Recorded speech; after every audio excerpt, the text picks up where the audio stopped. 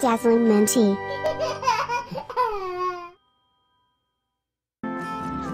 Hello, kids. Let's do prayer after class.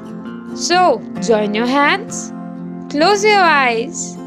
Prayer after class. O God, our loving Father, we thank you for this day and the knowledge we received. Help us to retain what we have studied, that we may grow in wisdom and knowledge.